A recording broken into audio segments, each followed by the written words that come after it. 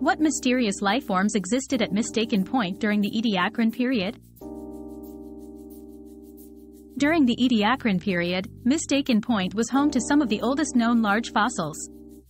These mysterious organisms predate the Cambrian explosion and provide a rare glimpse into early complex life. Not plants, animals, or fungi, their true nature remains a puzzle. Studying them helps us understand life's evolution on Earth. For those curious about our planet's history, Mistaken Point serves as a fascinating window into a time long past.